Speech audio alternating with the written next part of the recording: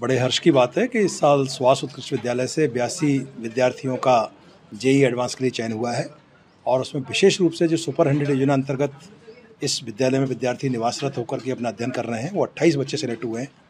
न केवल अट्ठाईस बच्चे सेलेक्ट हुए हैं, कुछ विद्यार्थियों पर गौरव है कि उन्होंने अपना परसेंटाइल 98 और 99 से भी ऊपर हासिल किया है। मुझे पूरा यकीन है कि यहाँ से लगभग ये आठ से दस विद्यार्थी जो ऊपर टॉप के हैं, ये देश के प्रतिष्ठित आईआईटी संस्थानों में प्रवेश पाएँगे और न केवल प्रदेश का, बल्कि देश और अपने परिवार का नाम रोशन करेंगे। मुझे लगता है शिक्षा का कोई शॉर्टकट नहीं होता और न कोई स्ट्रेटजी होती है। शिक्षा तो लगातार वर्ष भर अभी तक लगातार श्रम का परिणाम है। इन विद्यार्थियों की तैयारी कोई एक, दो दिन और एक महीने की नहीं होती। इन्होंने अभी तक जो अपना अध्ययन किया है, मैं तो ये कहूँगा दसवीं तक भी जो किया है, ये सब उसका परिणाम है। इनके परिवार की मेहनत, इनके शिक्षकों की मेहनत और इनकी खुद का कठोर परिश्रम। ये परिणाम इसलिए आया है कि इन्होंने बहुत कड़ी मेहनत की है और इनके शिक्षकों ने मार्गदर्शन किया है, इनके परिवार ने इनको सपोर्ट किया है। तो एक मिला जुला परिणाम विद्यार्थी का, खुद का, उसके परिवार का, शिक्षकों का और इस पूरे विद्यालय प्रवेश का, उसका नतीजा है कि विद्यार्थी इतनी उच्च स्तर की सफलता प्राप्त कर रहे हैं।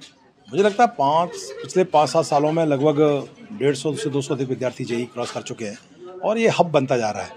प्रदेश में जेई, नीट, सीपीटी और क्लैट के लिए इस स्कूल जाना जाता है। कि जो बच्चे अपने बोर्ड परीक्षा के साथ साथ मेरिट में आना चाहते हैं और वो साथ में ही प्रतियोगी परीक्षा को निकालना चाहते हैं, उनके लिए एक मुझे लगता है सुभाष उत्कृष्ट विद्यालय से बढ़िया परिसर नहीं हो सकता। यहाँ ये बच्चे आते हैं, कड़ी मेहनत करते हैं, शिक्षकों से, गुरुजनों से इनको मार्गदर्शन मिलता है और इनका कठोर परिश्रम, अपना परिणाम प्राप्त करता है और आज ये सब आपके सामने सफलता प्राप्त करके खड़े हुए मुझे लगता है मध्य प्रदेश का तो ये है ही शासकीय स्कूल। शासकीय क्या? प्राइवेट स्कूल, शासकीय, निजी, दोनों मिला करके मुझे लगता है इतनी अधिक संख्या में शायद प्रदेश का पहला स्कूल होगा। बल्कि मुझे लगता है देश में भी बहुत कम ऐसे विद्यालय होंगे जहाँ से इतनी बड़ी संख्या में जेई और नीट में बच्चे सफल हो रहे होंगे और अपना परचम दे रहे होंगे। निसंदेह ये विद्यार्थियों का गौरव है जो इस विद्यालय को एक्सलेंट बनाते हैं। मेरा नाम शीतल सिंह है। मैं रीवा से हूँ। वर्ष 2022 में सुपर हंड्रेड के थ्रू मेरा यहाँ चयन हुआ था।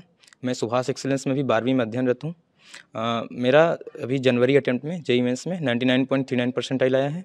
आ, मैं यहाँ जो है सुपर के थ्रू आया तो यहाँ के टीचर्स द्वारा मुझे गाइडेंस दिया गया कि जेई मेंस में कैसे अपेयर होना है।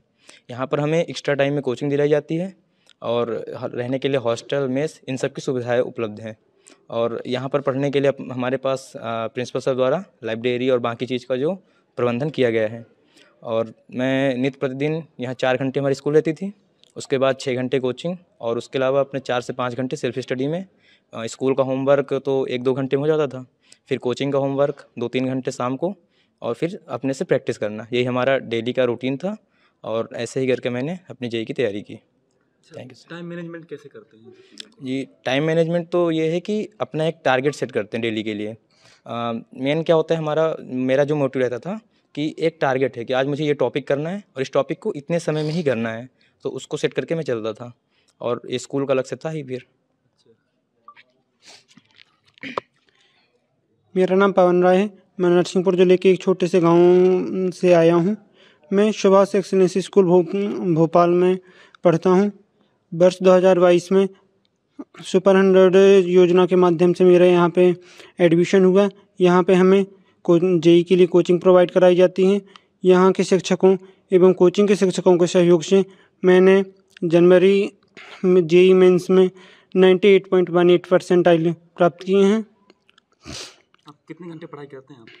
मैं आठ से दस घंटे पढ़ाई करता हूँ जिसमें कोचिंग शामिल। अच्छा तो क्या स्ट्रेटजी रही जेई मेंस का निकालने का आप लोगों का जो है? जेई निकालने की निकालने के लिए जो कोचिंग में हमें नोट्स बन बनवाए जाते थे वो नोट्स एवं कुछ बुक को रेफ़र करके हमने पढ़ा और हमारे जो टीचर्स होते थे वो हमें गाइड करते थे कि कैसे जेई मेन जेई मेन्स और एडवांस के लिए हमें तैयारी करनी होती है। मेरा नाम साहिल पाल है। मैं सतना ज़िले के एक छोटे से गाँव से आया हूँ। मेरा वर्ष 2022 में यहाँ सतना में गाँव अतराल नाम अतराल। मेरा सुपर हंड्रेड की योजना के थ्रू 2022 में यहाँ चयन हुआ था, जिससे मेरा यहाँ एडमिशन हुआ। बाद में हमें यहाँ से कोचिंग प्रोवाइड की गई जिसमें जेई की तैयारी कराई जाती थी।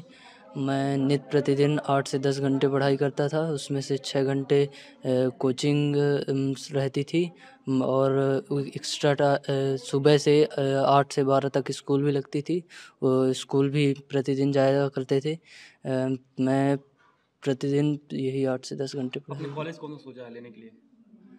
अभी तो एडवांस का सोचा है। अगर निकल जाता है तो फिर तो आईआईटी ही सही रहेगा बस मैम दो मिनट।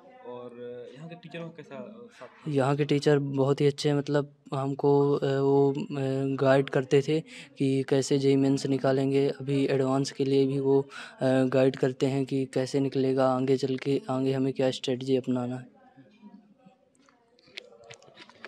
मेरा नाम रविराज विश्वकर्मा है। मैं दमोई दमोई ज़िले के एक हटा शहर से हटा शहर में रहता हूँ।